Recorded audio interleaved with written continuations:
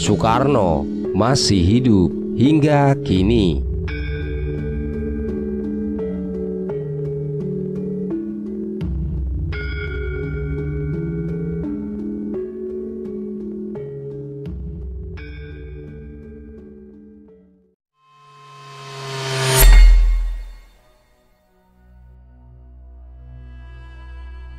Banyak rumor mengatakan bahwa presiden pertama Indonesia, Bapak Soekarno, masih hidup.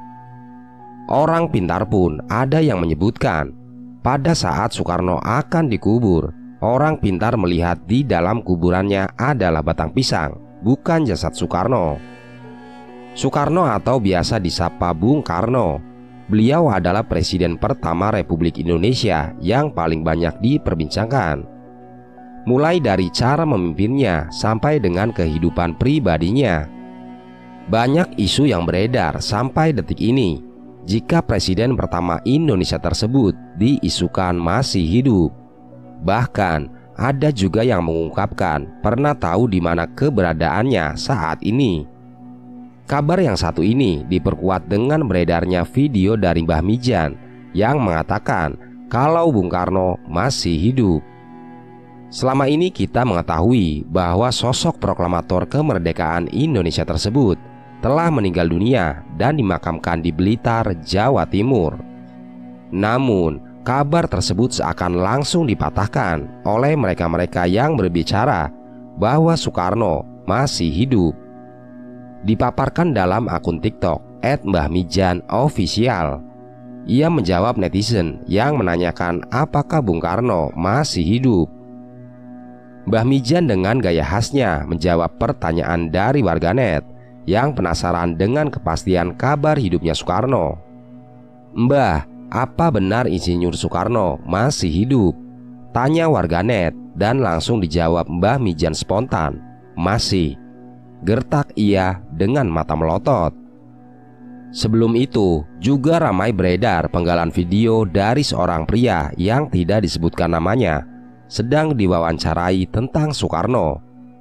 Ia pun menjawab bahwa presiden pertama Republik Indonesia itu masih hidup dan mengetahui di mana keberadaannya.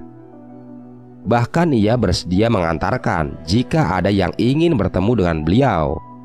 Akan tetapi, ia mengatakan bahwa tempatnya sangat dirahasiakan dan tidak ada wartawan atau masyarakat yang boleh mengetahuinya. Nanti jumpai saya, saya antar ke keluarga dia, tapi dilarang membongkarnya. Karena itu rahasia negara dan rahasia Allah, kata pria itu. Sebuah pernyataan mengejutkan juga datang dari seorang tukang beca di desa Sei Mata-Mata, Kalimantan Barat. Dalam sebuah video yang beredar, ia menyebutkan jika Presiden Republik Indonesia pertama itu masih hidup Pria bernama Mualif itu mengaku bahwa dirinya sempat bertemu dengan Soekarno di dalam kediamannya. Ia pun mengatakan jika dirinya sempat berbincang bersama dengan bapak proklamator itu tentang aktivitas keseharian masing-masing. Dalam video yang beredar, Mualif menyebut jika dirinya pernah bertemu dan berbincang langsung dengan bapak proklamator Indonesia itu. Melalui pernyataannya, ia menceritakan jika Soekarno tiba-tiba datang ke rumahnya yang dikatakan tengah melakukan perjalanan. Malam itu, aku pun tidak menyangka beliau datang cuma untuk silaturahmi, kata Mu'alif. Mu'alif juga menyebutkan jika dirinya sempat berbincang mengenai aktivitas masing-masing. Belum ada perbincangan yang menjurus ke negara atau ke bangsa ini. Jadi, Cuma ngobrol biasa tentang aktivitas masing-masing, tambahnya. Selain itu, sebuah video terkait Presiden Republik Indonesia pertama, Insinyur Soekarno, juga beredar di media sosial. Video itu dibagikan oleh seorang pengguna akun Facebook. Video tersebut menunjukkan sejumlah pengakuan yang mengatakan bahwa Soekarno masih hidup. Disebutkan dalam video tersebut, saat ini Soekarno sudah menginjak usia ke-122 tahun. Kemudian seorang dalam video itu mengatakan bahwa Soekarno masih hidup dan tinggal di wilayah Bambu Seribu, yaitu Lampung. Akan tetapi unggahan salah satu akun di Instagram juga membuat heboh masyarakat Karena mengungkapkan kesaksian orang-orang yang mengaku bertemu dengan Soekarno Kesaksian juga datang dari seorang pria dalam video unggahan di Instagram. Pria tersebut bahkan dengan tegas mengaku tahu keberadaan Soekarno saat ini. Sebenarnya Soekarno itu masih hidup tapi dirahasiakan. Kalau saya itu sebenarnya tahu dia di mana tempatnya. Kalau memang orang itu ingin menguak, ingin mengerti apa pun, ingin tahu tentang Soekarno, boleh nanti jumpai saya, saya antar ke keluarga dia, ujar pria tersebut. Kemudian, viral di TikTok, seorang pria juga mengungkapkan bahwa Soekarno sebenarnya masih hidup.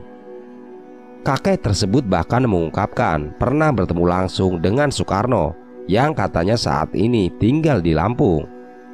Kabar Bung Karno yang dirumorkan masih hidup ini viral kembali di media sosial dan memunculkan banyak dugaan. Jika memang Soekarno masih hidup dan jika kita melihat tahun kelahirannya, yaitu pada tahun 1901, maka sekarang Soekarno menginjak usia ke 122 tahun. Apakah mungkin ada manusia yang bisa berusia sampai segitu? Data dari halaman Wikipedia menyebutkan ada yang bisa berumur 116 tahun, bahkan sampai 150 tahun. Sementara yang tidak tercantum di Wikipedia sangat banyak karena beragam kontroversinya. Salah satunya adalah Mbah Harjo, warga dusun Sukomulyo, Jawa Timur. Sesuai data kelurahan, Mbah Harjo lahir tahun 1825 ini berarti beliau berumur lebih dari 198 tahun. Jadi memang tidak aneh kalau ada manusia yang berusia sangat lama, bahkan sampai ratusan tahun. Selanjutnya kita bahas kemungkinan lain bagaimana masih hidupnya Soekarno dengan kemungkinan bahwa beliau telah moksa. Moksa bukanlah mati, namun berpindah tempat. Hanya dengan izin Allah dan juga restu dari Soekarno maka seseorang bisa bertemu dengan sang presiden pertama ini. Pada tahun 70-an, ada yang mengatakan bahwa kuburan Soekarno pernah dibongkar. Namun, jasad beliau tidak ada. Dalam agama Islam, istilah reinkarnasi memang tidak ada. Tetapi ada kisah yang menyebutkan kalau Nabi Isa akan diturunkan atau dihidupkan lagi di akhir zaman. Jika teori ini kita pakai untuk Soekarno, maka tidak ada yang tidak mungkin bagi Tuhan untuk menghadirkan kembali Soekarno di tengah-tengah kita.